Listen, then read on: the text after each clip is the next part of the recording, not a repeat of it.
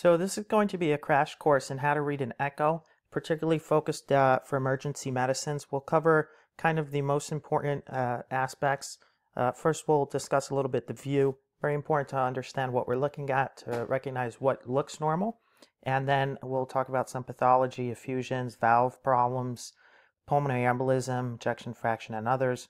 No disclosures. The first thing is to note the view. Um, the ultrasound kind of takes a slice. And so this is the direction we're taking a slice. You put it at the fourth intercostal space, um, directed towards the right shoulder. And the ultrasound is going to take a piece of the heart to take a nice cut halfway. And this is exactly what it'll look like. Here, the aorta. Over here in the bottom right is your atrium. Your left atrium goes past these two valves. These are the mitral valves to the left ventricle. Then out of these two valves, these are the aortic valves, out of the aorta. So again, we have the left atrium, past these mitral valves into this area over here. This is the left ventricle, past the aortic valves, and then the blood pumps out this way. Up here, you can see a little bit of the right ventricle. So very important to understand that this is the view. And then when we're looking at an echo, it, shows up like this, and this is exactly the same thing. Here's the left atrium. You could see it over here. These are the mitral valves we just talked about. Left atrium, mitral valves. This is the left ventricle, and then it passes out here, and the aorta would be right around here. So left atrium, valves, left ventricle, aorta, and this is the right ventricle.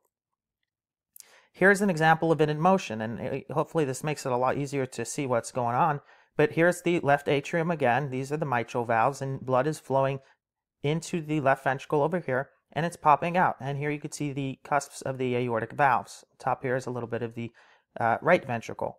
Now, something to take note about this heart um, is how nice and dynamic it is. It's kind of uh, bouncing back and forth. It's squeezing like a towel, a cardiologist once described to me. And so this would be an example of a nice heart.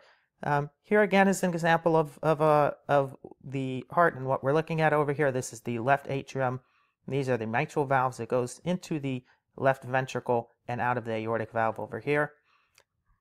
Here is an example of something that's not good. If you take a look under the heart, you'll see some black, black that's fluid. So this is some fluid under the heart. Let me back it up one slide just to take note. Under the heart over here, there should be no fluid. Over here, we see fluid. This is a pericardial effusion. This is something that if you see, you don't need to wait um, for an x-ray, for a CT scan. You can grab an ultrasound machine and see this in a moment. So here's an example of what good valves look like. Take a look at these mitral valves and the aortic valves. These guys look like nice windshield wipers. They open, they close, very beautiful. Then here is a problem with the valves. Here's the left atrium. It goes. These are the mitral valves that are barely moving. This is the left ventricle. The aortic valves look very sclerotic. They're barely moving. Again, these are not the nice valves we just saw a moment ago. When you're looking at the echo, also take a look at the right ventricle. So we start over here. This is the left atrium to the left ventricle. Out here, the aortic valves. And then up here is the right ventricle. And the right ventricle should be smaller than the left ventricle. If you come across something like this, and this is going to take a second to orient, this is the left ventricle mitral valves. Over here is the left, ven uh, excuse me, left atrium mitral valves. Left ventricle pops out here through the aortic valves. And this entire thing over here is the right ventricle. And the reason it's so big, this is of course a pulmonary embolism. So if you suspect a pulmonary embolism, this is something that you can uh, take a look for very quickly and you can diagnose. Uh, you don't really need to wait for all these uh, fancy tests. You can get a good idea what's going on within 30 seconds. Highly recommend uh, using this uh, in the emergency room. Uh, another thing to take note of the left ventricle size here. Nice, look at this muscle wall, it's very good. Um, the left atrium, the mitral valves, left ventricle. Compared to this, this is a balloon. This is the left atrium going into the left ventricle. And the left ventricle over here, it looks like a big balloon over here. This is a dilated heart. This is uh, some kind of cardiomyopathy, dilated cardiomyopathy, um, and this is not something that you'd like to see.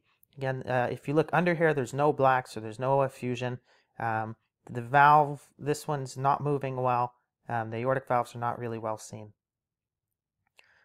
Now, one of the final things we'll talk about is the ejection fraction. This is, honestly, it takes a really long amount of time to get a good uh, grasp to estimate the ejection fraction, and even then, uh, there's no guarantees. But essentially, we're looking over here at the left ventricle, right? Left atrium, mitral valves goes here into the left ventricle. Aortic valves up is the right ventricle.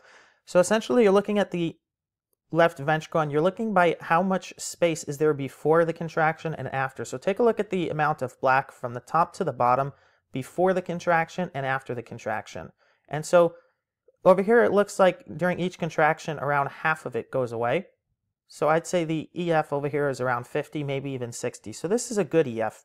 Let's take a look over here at this one. Um, here, left atrium, these are bad valves. You can actually see, looks like maybe an effusion here. Um, but the if you look over here at the black, the amount of fluid that's in the ventricle before and after contraction, there's almost no difference.